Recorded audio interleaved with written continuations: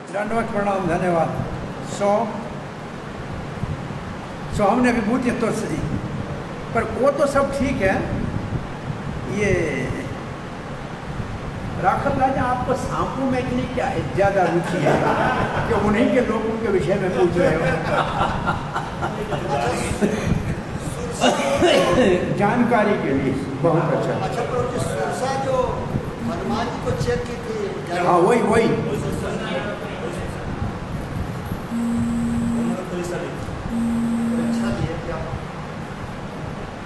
वो सुरसा जो हनुमान के रास्ते में है जो उसको सर्पों की पत्नी है और सर्प की माँ सर्प को जन्म लेते ही खा जाती है। तो परीक्षा के लिए बहुत कठोर कोई चाहिए। तो हनुमान की तो लेनी थी परीक्षा। तो परीक्षा के लिए सुरसा को भेजा था देवताओं ने कि बुद्धि कितनी है हनुमान में देख लो। बल तो है परंतु बुद्धि है कि नहीं? सो हमने पढ़ा उनतीसवा श्लोक अनंतश्चास्मि नागानाम वरुण यादसाम पितृणाम अर्यमास्मि यम संयमतामस्मी और अब हम पढ़ रहे हैं प्रहलादश्चास्मि दैत्यानाम काल कल्यतामस्मि मृगाणाम च मृगेंद्रो अस्मि वैनतस्य पक्षिणाम तो विंता के पुत्रों में मैं पक्षी हूँ। तो दैत्य किसको कहते हैं? तिथि के पुत्र दैत्य। और दानव? दानव के पुत्र दानव कौनते कुंती के पुत्र, पाँचों कौनते हैं एक नहीं, पाँचों ही कौनते हैं तो ये पहले माँ के नाम से बेटों को जाना जाता था, ऐसे लगता है। पिता के नाम से भी है, लेकिन माँ के नाम से ज़्यादा। तो यहाँ प्रभुपाद लिखते हैं, दैत्य कहते हैं दिद्दी के पुत्रों का, और उनमें मेरी विभूति प्रहलाद है। क्यों मेरी विभूति है? कि सुमरण भक्ति का आचार्य है, उसका मेरे ऊपर पूर्ण विश्वास है। श्रद्धा की मूर्तिमान स्वरूप भगवान की सुमरण भक्ति का आचार्य है। सबको संयम में रखने वालों में मैं काल हूँ। और वो तो ठीक है, गरुड़ का भी हो गया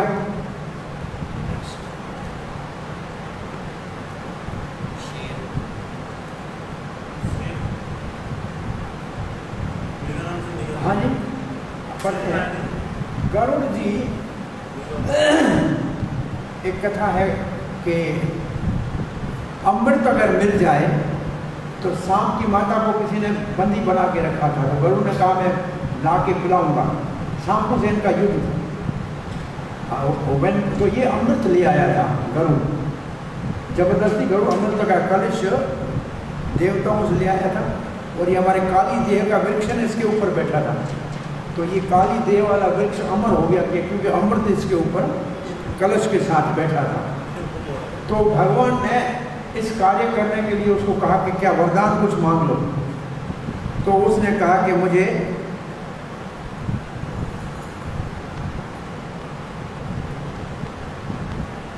कि मैं अमृत पान करूँ और अमर हो जाऊँ और मुझे आपके महान बनने का आशीर्वाद दीजिए। तो असल में कथा तो सांपों के बीच में और इनके बीच में झगड़ा था। तो गरुड़ जी अमृत ले आए थे। तो भगवान को उनकी सामर्थ्य और शक्ति के ऊपर बहुत अच्छा लगा और वरदान में उनको अमरता और अपने वाहन बनने का आशीर्वाद दिया भगवान विष्णु ने। प्रहलाद जी लिखते हैं, दिति के हाँ दिति और आदिति दो बहनें हैं। दिति शब्द का अर्थ है जो टुकड़े टुकड़े कर दे, इसका मतलब खंड खंड करे और आदित्य का अर्थ है जो सबको जोड़ के रखे। तो आदित्य के प्रति संस्कृत के शब्दों का अर्थ ऐसे है। वो दृढ़ धातु है, इसका अर्थ है तोड़ना या मिलाना। तो जो देवता है दिति के पुत्र को सबको साथ ले चलते हैं। दिति के पुत्र सबको खंड खंड करते हैं। और आदित्य के पुत्रों को आदित्य कहते हैं दिति के पुत्रों को दित्य कहते हैं। आदित्य सारे भक्त हैं और दैत्य सारे क्या लिखा है? देखो दैत्य सारे क्या हैं? नास्तिक हैं। दिति के पुत्र नास्तिक हैं और आदित्य के पुत्र आस्तिक हैं। और दोनों का बाप एक है। और दोनों एक दूसरे से लड़ते हैं। और उन दोनों के झगड़े के बीच में भी शांत रहे वो कश्यप। दोनों के बीच में शांत रहे ये कश्यप की बहुत बड़ी उदारता है। सो वो आ, वो नास्तिक क्यों है? भगवान को नहीं मानते।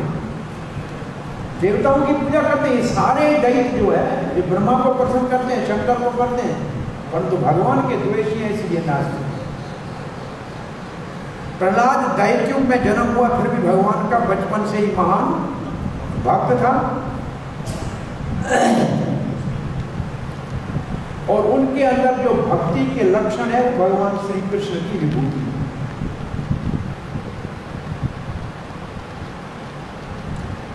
सबको संयम में और नियम में रखने के लिए बहुत से साधन हैं, परंतु काल ऐसा शक्तिशाली साधन है, इस जगत के सब चीज़ों को समय के साथ जीर्ण करके समापित कर देता है।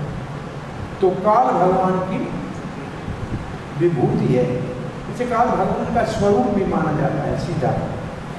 भगवान कहेंगे ग्यारहवें अध्याय में कालो अस्मि मैं काल हूँ। लोक क्षय प्रवृत्त हो लोक का क्षय क्षय करने के लिए आया हूँ। तो काल भगवान की विभूति है। और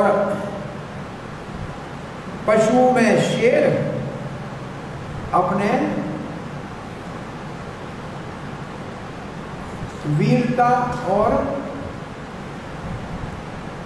क्या कहा जाए भयानक गुण के कारण राजा है और गरुड़ पक्षों का राजा है, जो भगवान विष्णु का मान भक्त है। एक गरुड़ ऐसा वैष्णव है जो मांसाहारी है। है वैष्णव। है विष्णु का भक्त, लेकिन खाता मांस। है हनुमान भक्षण करता है, क्या करे करो बेचारा? उसका भोजन ही। है इकतीसवा श्लोक। पवन पवताम अस्मि। राम शस्त्र भृतामहम झसानाम वक्रश्चास्मि। प्रोत्साहमस्मि जाह्नवी।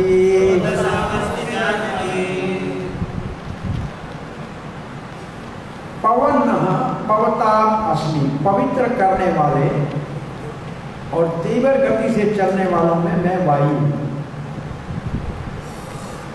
पवन, एक तो पवित्र करके जहाँ गुजरती और जगह को पवित्र कर, पवित्र करने वालों, पवित्र करने वालों में और दूसरा तीव्र गति में चलने वालों में। मेरी विभूति वायु है। राम शस्त्र धृताम शस्त्रधारियों में मैं राम हूँ। ये राम है परशुराम। ये राम भृगुनंदन परशुराम का सूचक है। क्योंकि भगवान रामचंद्र विभूति नहीं है, वो तो साक्षात भगवान है। तो इस राम को परशुराम माना गया है। झसाना मकर झसाना मकर मतलब जलचरों में। मैं मगरमच्छ हूँ। मगरमच्छ मकर मेरी विभूति है। जलचरों में भगवान की विभूति है मकर। श्रोत्सामस्मी जानवी जो सरिताएँ चलती हैं नदियाँ, उसमें भगवान कहते हैं, मेरी विभूति है गंगा। जाह्नवी, गंगा का नाम है। गंगा का नाम जाह्नवी क्यों है? जानु ऋषि की पुत्री के रूप में जानु ने प्रकट किया। पी गया था पूरी गंगा को। पूरी गंगा को पी गया था। तो फिर भागीरथी की प्रार्थना करने के लिए उसने तो गंगा जब गंगोत्री से उतरती है तो उसका नाम है भागीरथी। तब उसको भागीरथी कहते हैं। और क्योंकि चलती है, इसलिए गंगा कहते हैं। गंगा का मतलब चलने वाली, जो बहती रहे। और विष्णुपति कहते हैं, क्योंकि विष्णु के चरण से निकलती है। सुरसरी कहते हैं। सुरसरी। क्योंकि देवताओं के लोग को पवित्र करती हुई आती है। और जाह्नवी कहते हैं, क्योंकि जाह्नवी शुभ ने पुत्री के रूप में उसको प्रकट किया। ऐसे गंगा जी के और भी बहुत नाम हैं। भागीरथी उसको लाया, इसलिए भागीरथी।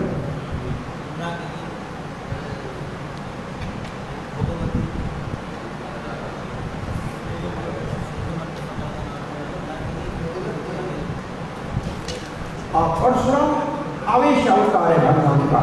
शक्ति आवेश अवतार है। इसलिए भगवान की विभूति है। मुझे प्रश्न है इधर परशुराम कहा जाएगा या भगवान श्री रामचंद्र को कहा जाएगा? क्या परशुराम ने क्या किया?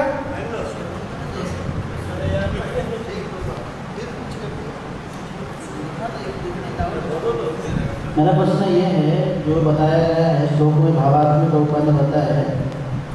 इधर मैं देख रहा हूँ रामायण के बारे में लिखा हुआ है रामचंद्र के बारे में। ये रामचंद्र जो रामायण में रामचंद्र है, उसी के बारे में वर्णन है। वही राम नहीं है ना? देखो, राम है तीन, प्रभुपाद जी से जब कोई पूछता राम बोला, तीन राम है। बलराम, परशुराम एंड रामचंद्र। ये तीन राम है। अब कौन सा राम कब, किस स्थान के ऊपर किसका सूचना है तो वो बलराम भी कह सकते शस्त्र भट्टम वो भी तो भाई गदा वो गदा गदा युद्ध के सबसे श्रेष्ठ गदाधर है। परंतु विश्वनाथ चक्रवर्ती पाद कहते हैं, क्योंकि वो तो है विष्णु तत्व। राम जी भी विष्णु तत्व है और बलराम भी तो है ही। ये शक्ति अवेश अवतार है, ये जीव है तत्व जीव है, परंतु भगवान ने इसमें अपनी शक्ति डाल दी है परशुराम में इसलिए ये भगवान की विभूति है। तो ये, प्रभुपा ने क्या लिखा है? देखते हैं मेरे सामने तो अभी ये है परशुराम तो फिर भगवान के आप चौबीस अवतार के बारे में वर्णन है उसमें भी पढ़ा अवतार में तो नाम जैसे जैसे पृथ्वी महाराज का है, वो भी जीव है, वो भी शक्ति अवेश अवतार है। जैसे बहुत से शक्ति अवेश अवतार है। शक्ति अवेश अवतार वो होते हैं जिनका वैकुंठ में अपना धाम नहीं होता। पर वो वैकुंठ में उनका धाम नहीं होता। जिनका धाम है वो नित्य अवतार है।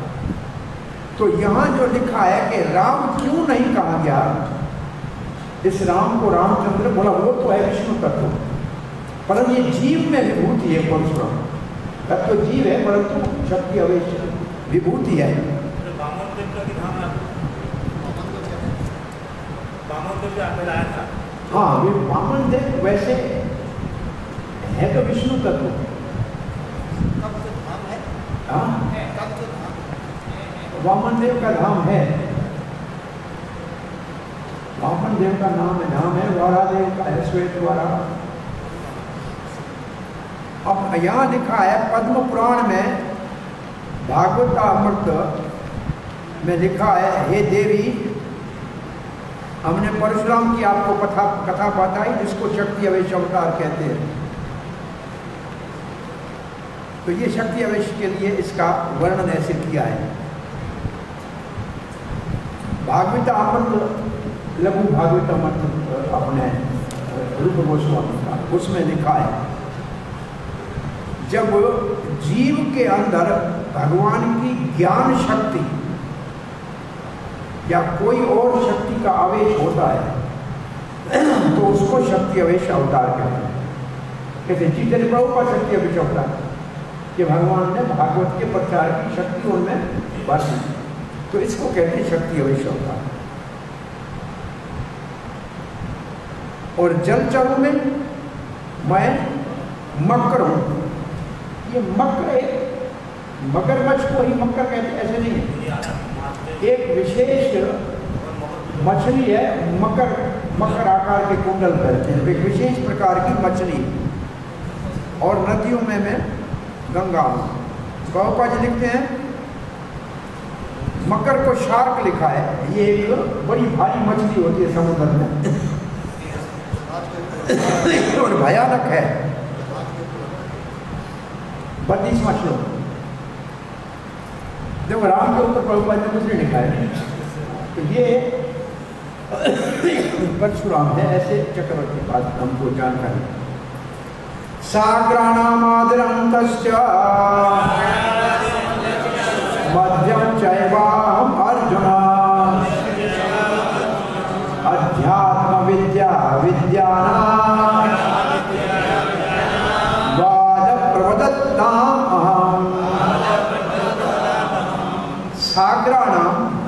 सर्गा नाम, शब्द क्या है? और सर्ग का क्या अर्थ है? सृष्टि करना। भगवान विष्णु का सृष्टि।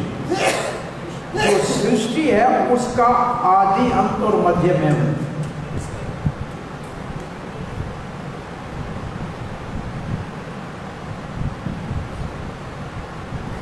और फिर है, ज्ञान जो है अध्यात्म विद्या विद्यायन। जो ज्ञान है, उसमें मैं जो आत्म विद्या है, वो मेरी विभूति है। ज्ञान के अंतर्गत आत्म विद्या मेरी विभूति है, और वाद प्रवत्ताम अस्मी। आपस में जो बातचीत करनी है ना, उसमें वाद होता है, वितुंड होता है और संवाद होता है। संवाद तीन है शब्द विवाद तो बिगड़ा हुआ वाद है। संवाद के विपरीत विवाद हो गया। वितुंड वाद और एक और शब्द है। ये तीन प्रकार का संभाषण होता है। विवाद नहीं है, दूसरा शब्द। मेरे गीता में लिखा है अभी मेरे को जवान में आ जाएगा आगे। तो वाद में हूँ, जैसे भगवत गीता संवाद है तो वाद की परिभाषा है, जहाँ शिष्य और गुरु में बात हो और परम सत्य को जाना चाहे तो ऐसी चर्चा को वाद कहते हैं। या दो शिष्य उन्नत भगवत तत्वों को जानने के लिए आपस में बातचीत करें तो उसको वाद कहते हैं। और दूसरा, मैं आपसे बात कर रहा हूँ आपकी बात को सुनने को तैयार नहीं हूँ। मेरी बात ही आपके ऊपर थोप रहा हूँ। तो ये इसके लिए शब्द एक और है। दो दो तीन तीसरा शब्द है कि कुछ सुनने को तैयार नहीं है अपनी बात करेगा। तो ये कभी भी लाभ नहीं देंगे। तो बात करने के तीन संस्कृत में उनके लिए तीन शब्द है। वाद वितुंड जलप जलप। वाद वितुंड जलप जलप जिसको हम प्रजलप कहते हैं। जलप का मतलब जो आप कहेंगे, हम आपको खंडन करेंगे, फिर आप हमारा खंडन करेंगे। ऐसे मानेंगे बिल्कुल नहीं। और वितुंड का मतलब आपको हराना ही है। चाहे कोई कारण हो ना हो, कोई तर्क हो ना हो, आपको हराना ही है ये वितुंड। तो तीन नाम अब याद हो गए क्या?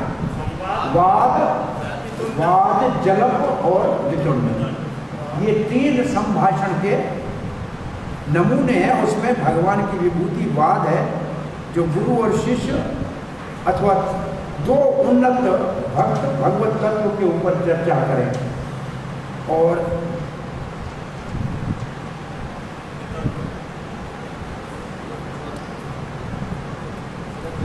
प्रकृति से जो कुछ प्रकृति में बना हुआ है, सर्ग का मतलब प्रकृति। तो प्रकृति में जो कुछ बना हुआ है, वो कहाँ से निकलता है? मात तत्व से। वो मेरी विभूति है। ये चक्रवर्ती बात करते हैं।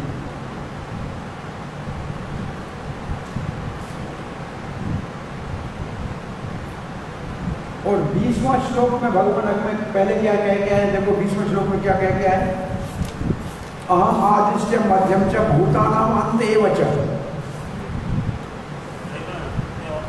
अब देखो ये दो, बीसवें श्लोक में और इस श्लोक में अंतर क्या है? वहाँ भी ये लिखा है, यहाँ भी ये लिखा है। वहाँ है जीवों का मध्य। सृष्टि का ये भौतिक सृष्टि का और जीव सृष्टि का। अब दोनों में अंतर ये हो गया।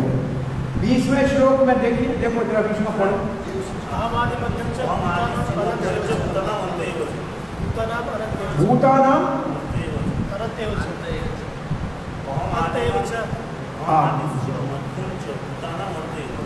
अहम हाँ अहम आदिश्य मध्यम च भूतानाम अंत एवं ये है जीव के लिए। और ये जो श्लोक अब हम पढ़ रहे हैं ये है भौतिक प्रकृति के लिए जो मत तत्व से बनती है। तो दोनों का ये अंतर समझ में आया? हाँ, दोनों बात। सड़क है भौतिक सृष्टि की बात वो है जीवों की बात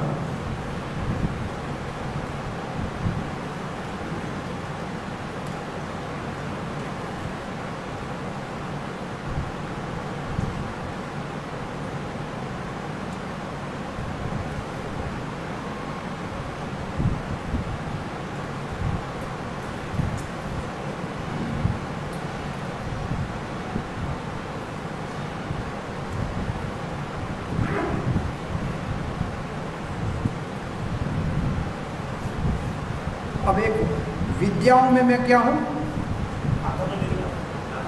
अब कौन सी विद्याएँ आपको कितनी आती हैं?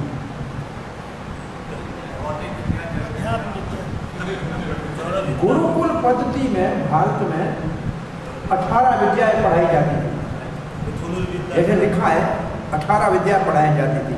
तो एक श्लोक लिखा है विष्णु पुराण का, अंगानी वेदास चतवारो मीमा मीमांस न्याह विश्रश धर्म शास्त्र पुराणम च विद्या एतास चतुर्दश ये चार प्रकार, चौदह प्रकार की विद्याएँ हैं। विद्या कितना प्रकार की आज?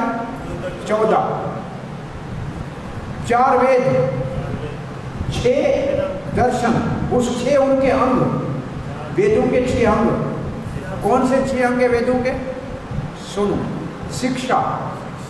पहला अंग है शिक्षा, दूसरा है छंद। जैसे भगवत गीता कौन से छंद में है? मुख्य कौन सा छंद है? अनुष्ट। और भी चार छंद थे, हमने पहले पढ़ा था।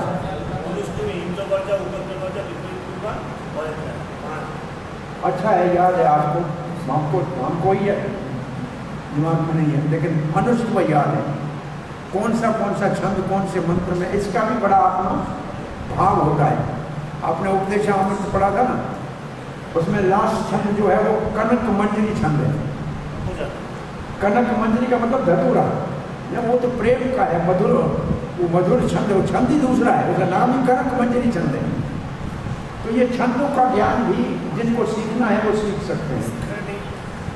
तो यहाँ तो आपको छः जो छह अंग कौन से हैं वेद के? शिक्षा, छंद, व्याकरण। व्याकरण तो एक है ना ग्रामर तो तीन तो ये हो गए, निरुक्त डिक्शनरी माना, और ज्योतिष ज्योतिष शास्त्र और कल्प। कल्प मतलब जो यज्ञ आदि में रिचुअल्स होते हैं कर्मकांड ये वेदों को, इसको कहते हैं वेदांग। वेदों के छह अंग है। क्या नाम? दोबारा बोलो क्या? शिक्षा छंद व्याकरण, निरुक्त ज्योतिष और कल्प मीमांसा और न्याय, ये दो और शास्त्र हैं। मीमांसा और न्याय।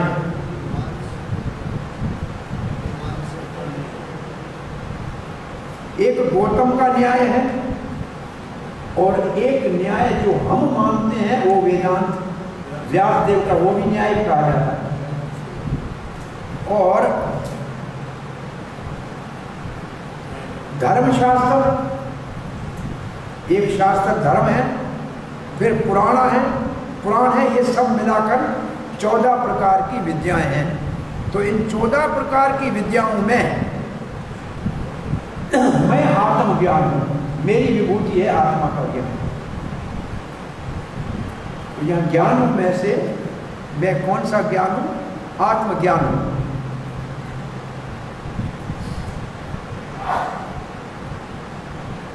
ये ज्ञान कहाँ है? वेदांत में है। और उसमें चार अध्याय हैं, जिसको चतुर चतुर्लक्षणा चतुर लक्षाणी विद्या कहते हैं। वेदांत सूत्र में चार अध्यायों को चतुर्लक्षणा विद्या कहते हैं। वो परमात्मा और उसके जो पार्षद हैं, उनका वर्णन वर्णन करते हैं। तो इसके पहले अध्याय में ब्रह्म का ज्ञान है। दूसरे अध्याय में शास्त्रों में जो मतभेद है, शास्त्रों में जो एक दूसरे के विपरीत है, उसका समन्वय किया गया है। तीसरे अध्याय में साधन ब्रह्म की प्राप्ति का है और चौथे अध्याय में ब्रह्म कैसे प्राप्त होता है। इसलिए आत्मविद्या का अर्थ ये तो ये चार अध्यायों में ये चार प्रकार का वर्णन है। पहले अध्याय में क्या है? वेदों का विषय ब्रह्म है। दूसरे अध्याय में जो एक जैसे आदमी कहे कि आँखें बंद भी रखता है, खोलता भी है। जैसे भगवान विष्णु के लिए सहस्र नाम में एक श्लोक है निमिशन अमिनिशम अनिमिशन निमिशन का मतलब आँखें बंद करना अनिमिशन का मतलब आँखें खुली रखना। तो अभी एक दूसरे के विपरीत है, जो आँखें बंद रखेगा, वो आँखें खोलेगा कैसे? तो इनका समन्वय करने के लिए, जहाँ दो चीज़ें एक दूसरे के बिल्कुल विपरीत है, उसके लिए एक अध्याय है पूरा। जैसे भगवान विष्णु आँखें बंद कब रखते हैं? जब किसी का दोष नहीं देखना होता है। और खुली कब रखते जब किसी की अच्छाई को देखना है। छोटी अच्छाई को भी नहीं बोलते। जैसे पूतना आई तो भगवान ने आँखें बंद कर दी। क्योंकि अभी दोष नहीं देखना है, इसकी अच्छाई को देखना हो। ये दूध पिलाने आई है तो इसको माता की गति दे दूँगा। और जब द्रौपदी ने भगवान की उंगली पे पट्टी बांधी तो एक छोटा सा काम था, लेकिन भगवान ने खुली आँख से देखा, इसका ऋण उतारना पड़ेगा, साड़ी देनी पड़ेगी, समय आने के ऊपर। तो भक्तों के गुण को, सेवा को, छोटी सेवा को भगवान देखते रहते हैं। कभी नहीं भूलते हैं। और भक्तों की गलती को आँखें बंद करते देखते ही नहीं, सुनते ही नहीं। तो ये दोनों एक दूसरे के विपरीत हैं। परंतु इन दोनों का कैसे समन्वय होता है, ये अध्याय में वर्णन है। और तीसरे अध्याय में साधन जिसके द्वारा ब्रह्म की प्राप्ति हो। और चौथा अध्याय है, जिसको ब्रह्म प्राप्त हो गया, उसका लक्षण तो ये चार अध्याय आत्मविद्या है। जब दो व्यक्ति आपस में संभाषण करते हैं या जिसको आजकल हम क्या कहते हैं, लड़के एक तरफ़ एक बोलता है, उसके विपरीत दूसरा बोलता है, इसको अंग्रेज़ी में डिबेट बोलते हैं। वाद प्रतिवाद वाद प्रतिवाद कहते हैं जनरली तो इसमें तीन है शब्द यहाँ लिखे हैं, वाद, जलप और वितरण। ये तीन प्रकार के तर्क वितरक होता है।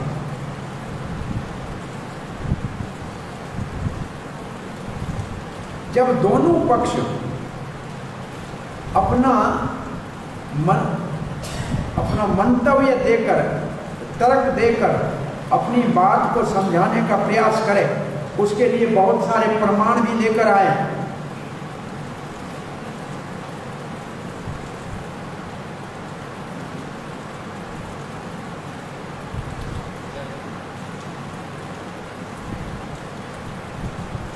इसको जल्प कहते हैं। तो जल्प क्या है? आप अपनी बात को ठीक, जैसे एक व्यक्ति यहाँ हमारे पास कौन सी डिबेट जैसे हो? भगवान है कि भगवान नहीं?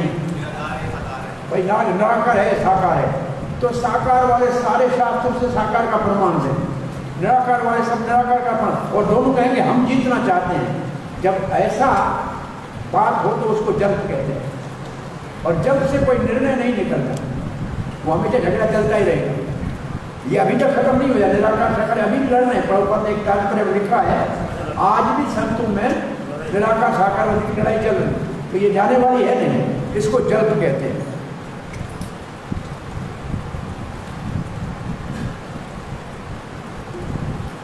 अब दोनों बातें कर रहे हैं। मैं सही कह रहा हूँ, परंतु आपके पास कोई तर्क नहीं है। परंतु आप कहते तुम गलत हो। भाई, क्यों गलत हो मुझे बता बोला, बस आप गलत हो हमारे पास कुछ भी नहीं, इसको वितरण कहते हैं। ये वितरण।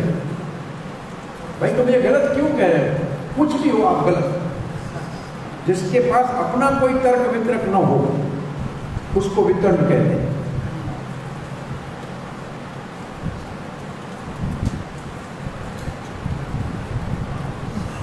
इसमें कभी कोई फल नहीं मिलता। है ये सिर्फ़ चतुराई है परंतु जब परम सत्य को जानने के लिए बातचीत की जाए तो उसको वेद कहो वाद कहते हैं ये भगवान की विभूति गुरु शिष्य के बीच में जो बात होती है या जैसे अर्जुन और कृष्ण के बीच संवाद है ये सम्यक वाद है तो अब तीन शब्द समझ में आए कौन से कौन से जलप वाद और संवाद नहीं संवाद नहीं वितंड अब जलप क्या है? रोज झगड़ा करते हैं आपस में। तुम ठीक नहीं पकाते हो। मैं ठीक पकाता हूँ। अब मैं देखो, मैंने इतना बनाया, मैंने इतना बनाया।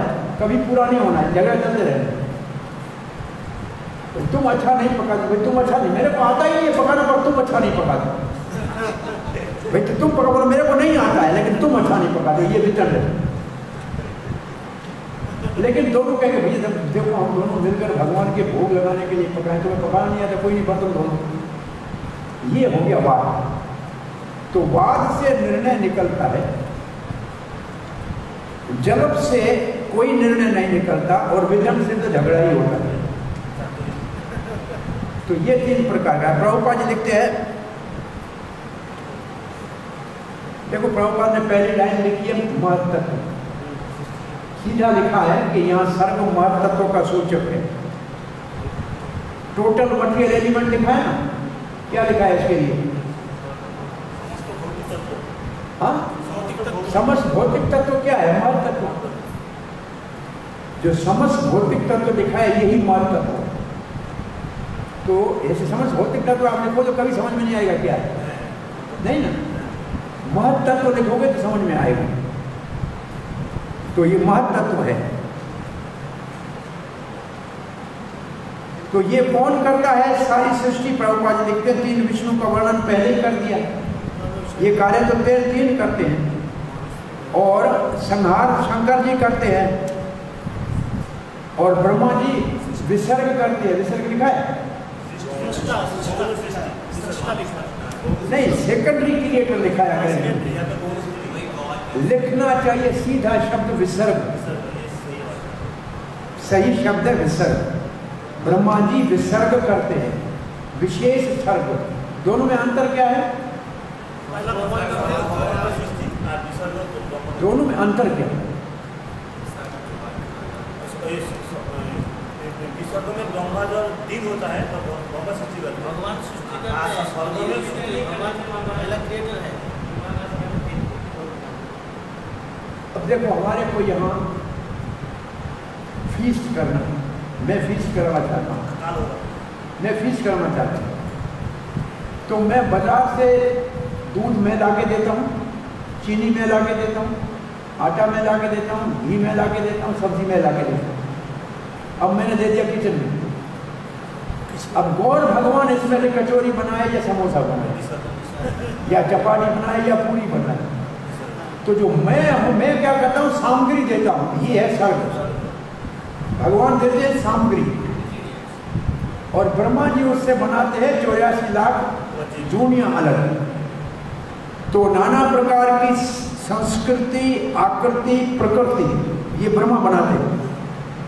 भगवान सिर्फ़ मसाला देते हैं। सामान सारा भगवान देते हैं। ऐसे देखे, दो प्रकार का कांटेक्ट होता है ना। इनके पास कांटेक्ट लेके मिठाई वाले का। सामान हमारा बनाओगे तुम।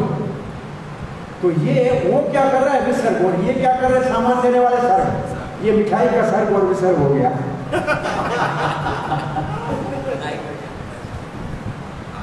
हमारा जब प्रचार करते हैं ना तो हम ऐसे समझाते हैं उनको। भगवान ने शरीर बनाने का सारा मसाला दे दिया, ब्रह्मा जी को। और जीव और उसके कर्मों का पूरा चिट्ठा दे दिया। अब ब्रह्मा जी ने क्या किया? उनके पास एक बड़ा कंप्यूटर है, बहुत बड़ा। उसमें जीव को डाला, उसके कर्म के चिट्ठे को डाला कि इसने क्या किया? तो उसने आया तो बड़ा देवता था अच्छा आदमी था, सबका भला करता था। ब्रह्मा जी के ये तो देवता बनने के लायक है। मसाला को डालेगा अंदर ही, पृथ्वी पृथ्वी जल, आकाश, वायु और दवाई का बटन द देवता बाहर बन के निकल आएगा अब एक जीव को डाला और उसका कर्म का चिट्ठा डाला। अंदर देखा देखा सुबह से शाम तक मजदूरी करता था। कभी कहीं सेवा साल कुछ नहीं की। गधा बनना चाहिए। मसाला डालेगा और ग दबाएगा और गधा बाहर। तो ब्रह्मा जी को कुछ नहीं करना भाई, इतना सबके लिए भगवान उसको मसाला देते हैं जीव और उसका कर्म देते हैं। और ब्रह्मा जी बस मशीन में डालो और बाहर निकला ये है विसर्ग। तो सर्ग और विसर्ग समझ में आ गया। अब प्रभुपा जी क्या लिखते हैं?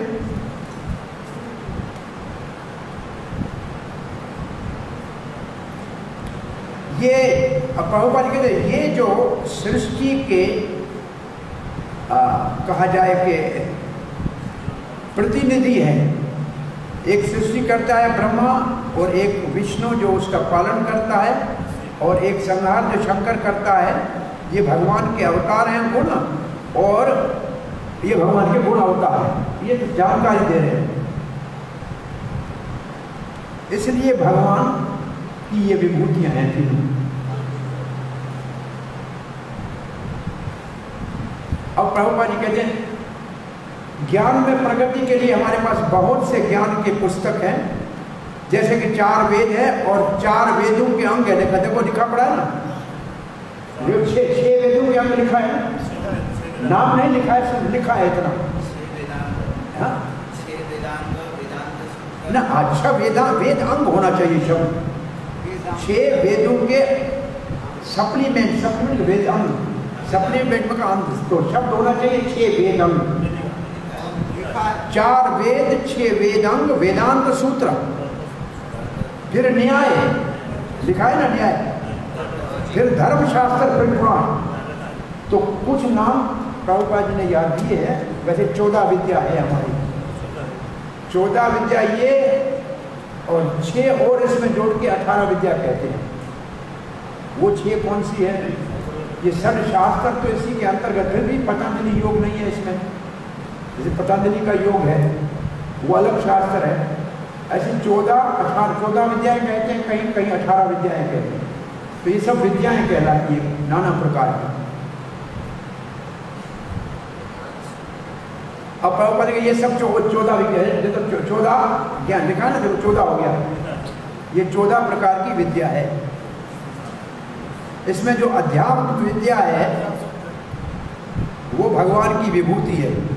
और कहाँ है वो प्रभुपद वेदांत सूत्र में? है और वेदांत सूत्र के चार अध्याय जो हमने कहा, वो इसके अंतर्गत आएगा ठीक है? तो ये आप क्या, वो पढ़ के ये पढ़ रहे हैं, समझ में आ रहा है? वो पढ़ के ये पढ़ रहे हैं तो समझ में आ रहा है। प्रभुपाद जी ने जो आचार्यों की टीका को लिखा है, उससे इसको समझना आसान है। प्रभुपाद जी के यथारूप भगवत गीता को समझने के लिए ये दो आचार्यों की टीका को देखना आवश्यक है। अब प्रभुपाद जी लिखते हैं, जो तर्क वितर्क करते हैं, उसमें बहुत से प्रकार हैं। एक को जन्म कहते हैं, जब वो लिखा है, हर एक अपना पक्ष को ही प्रतिपाद करना चाहे, उसको जन्म कहते हैं। जो दूसरे को केवल हराना चाहे, अपना पक्ष नहीं प्रस्तुत करे, उसको वितंड कहते हैं। लिखा है ना? और जो वास्तविक निर्णय पे पहुँचना चाहे उसको वाद कहते हैं। और वास्तव निर्णय में परम सत्य श्री ये वाद जो है, ये कृष्ण की विभूति तो आज क्या आपने ज़्यादा सीखा? चौदह विद्याओं के बारे में जानकारी हुई और तीन प्रकार के तर्क वितर्क के विषय में। ठीक है ना? अब आगे पढ़ते हैं। तैतीस। अक्षराणाम अकारो अस्मि द्वंद्व समासिक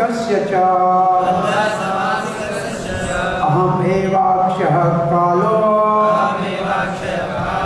धाता अहम विश्वतो मुक्तम। अक्षराणाम अकारोस्मि अक्षरों में मैं अ पहले हमने क्या पढ़ा था? अक्षरों में ओंकार यहाँ अक्षरों में मैं ओम। और द्वंद्व में द्वंद्व में मैं द्वंद्व समाज शिक्षक जहाँ एक शब्द कहने का शैली होती है, जैसे कहे कृष्ण अर्जुन। राम कृष्ण ये द्वंद्व है। तो जहाँ कुछ शब्द जोड़े जाते हैं, उनमें भगवान की विभूति है द्वंद्व तो द्वंद्व ऐसे शब्द होते हैं जो बिल्कुल एक दूसरे से ऐसे मिलते हैं कि कहने में रस आता है। अब देख, कोई कहने कुछ शब्द ऐसे बोलते हैं ना तो अच्छा लगता है। तो ये द्वंद्व मैं हूँ। और जो सबका, क्या कर सब एवाक्ष कालो अस्मी तो यहाँ पहले एक बार भगवान ने कह दिया मैं काल हूँ ये कौन सा काल है? अच्छा सबका प्रलय करने वाला मैं शंकर हूँ ये काल शंकर का रूप इसको शंकर का रूप एक आचार्य ने माना है। और धाता हम विश्व तो मुखम धाता का मतलब सृष्टि करने वाला। उसमें मैं ब्रह्मा हूँ। विश्व तो मुखम मतलब इसका चारों ओर मुख है। तो जो तो यहाँ कितने कितनों क्या है अकार तो समझ में आ गया, ध्वन भी समझ में आ गया।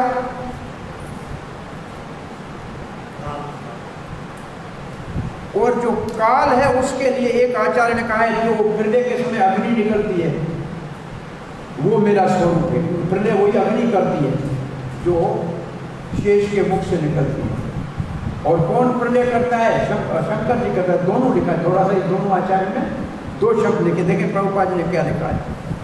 और सृष्टि करता हूँ विसर्ग करने वालों में धाता धाता हूँ विश्व तो मुखम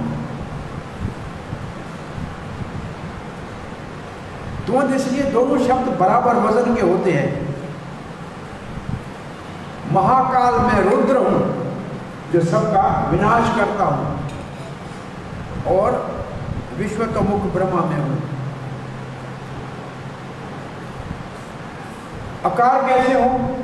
तो लिखा है, श्रुति में लिखा है, अकारो वही सर्वा वाका सारे शब्दों में अ आएगा। अकार शब्द शब्दों में आएगा।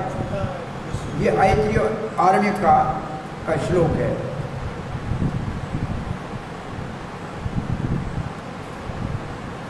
तो और कौन से और कौन से शब्द है? एक तो द्वंद द्वंद में हूँ। तो और भी तो कोई होंगे ना ऐसे शब्द? तो उनका नाम भी लिखा है। समास कितने प्रकार के ये बात क्या हो रही है? समास कितने प्रकार के क्या विषय के समास कितने प्रकार के समास का मतलब? शब्दों का आपस में जोड़ना। संस्कृत जो पढ़ते हैं, उनको मालूम होगा समास कितने प्रकार के हैं? एक, दो, तीन और चौथा ये द्वंद्व तो एक को कहते हैं अव्य अव्य भाव। अव्ययी भाव। एक समास अव्ययी भाव। दूसरा तत्पुरुष और तीसरा है बहु बहुब्रही बहुब्रही है ना? और हाँ तो ये ये समास है। उनमें मैं द्वंद्व जिसके दोनों वज़न बराबर होते हैं, दोनों शब्दों का वज़न, जैसे राम कृष्ण ऐसे कहने से दोनों बराबर लगे तो वो द्वंद्व मेरा विभूति है। और नाश करने वालों में मैं काल हूँ, वो अग्नि जो संकर्षण के मुख से निकलती है। प्रलय के समय वो यहाँ उसका वर्णन कर रहे हैं, बलदेव विद्याभूषण। अब प्रभुपा जी क्या लिखते हैं? अकार, पहला शब्द संस्कृत में जो अ है वो वेद के साहित्य का पहला शब्द है। मतलब अ में ही सब, अ से ही सब उच्चारण होता है। बिना अ के कोई शब्द बनेगा ही नहीं। इसलिए वो शब्दों का आरंभ है।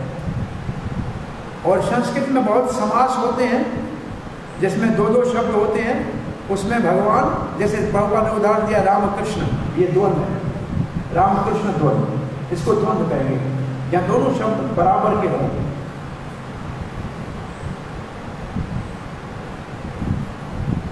और कुछ ऐसे बनाओ समाज। द्वंद समाज बनाओ? लोटा रोटी।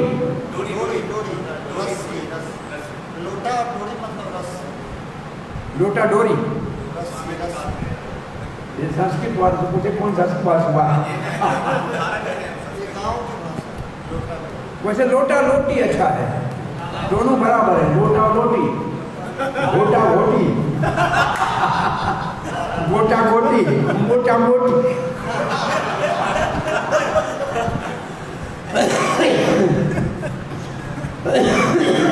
छोटा छोटी, रोटा रोटी। ये सब समाज है और क्या है। गलत द्वंद है सारे तक जोड़े जोड़े और क्या। है ये पहले कितने ने लिखा है और वहाँ पुराण लिख दो।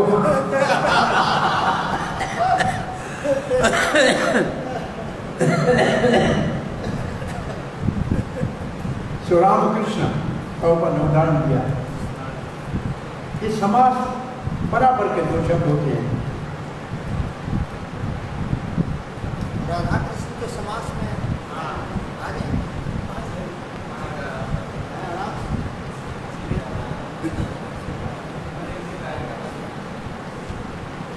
नहीं आए।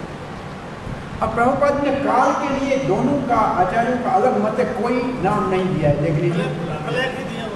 हाँ? प्रलय लिखा है। अब प्रलय कौन करता है? दोनों करते हैं।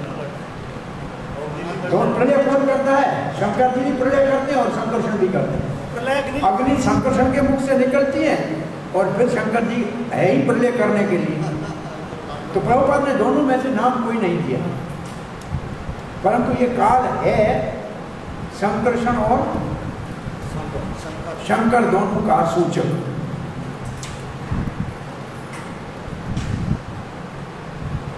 तो ब्रह्म धाता है चतुर्मुखा। ये भगवान की विभूति है। आ, हम आगे बढ़ नहीं पाए हम सोचा आज पूरा कर लेंगे क्या करें? कल पूरा करें? अभी और हैं चौंतीस अभी अभी।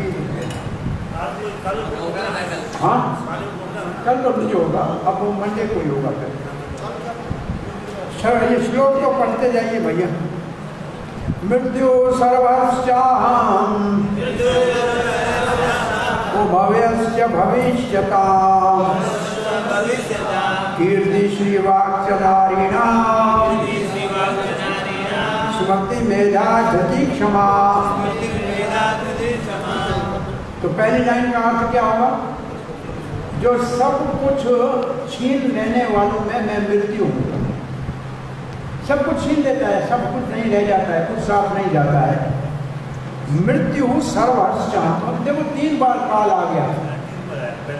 एक, दो काल तो पहले आ चुके हैं, ये तीसरो काल है। एक समय है जो सब चीज़ों को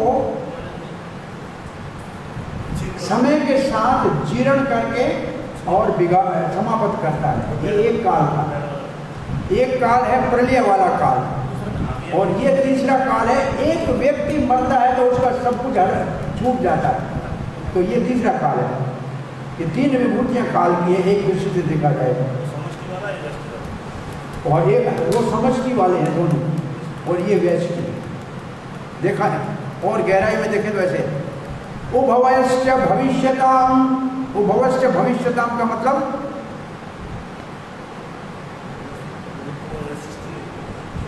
जो शरीर में छह परिवर्तन होते हैं, उनमें से मैं क्या हूँ?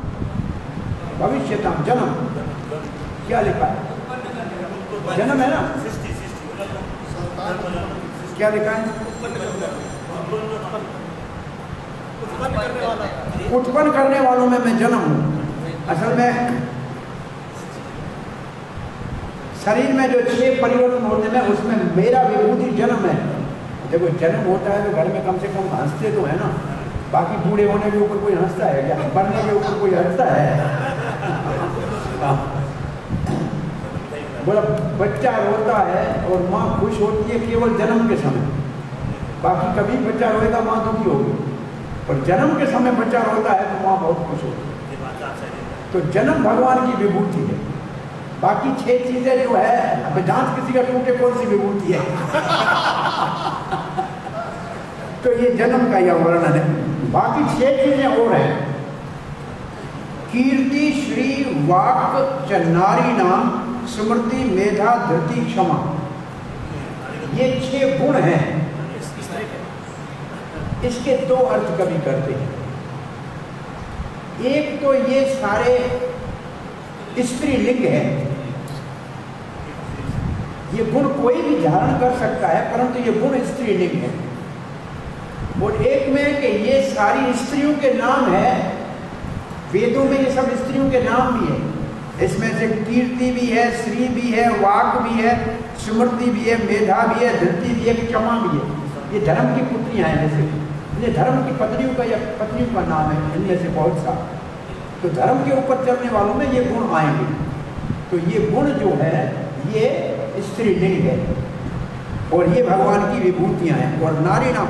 और इसी श्लोक को देख के एक बहुत बड़े विराट सम्मेलन में, नेपाल में, नारी ने कहा था, देखो, भगवत गीता में नारियों के छह गुण दिखे हैं, पुरुषों के नहीं दिखे उसने ये श्लोक उधर बोला था। लेकिन इसका अर्थ ये नहीं तो इसका अर्थ कल पढ़ेंगे। आज कथा को यह विराम देते हैं। आपका भोजन का समय हो गया।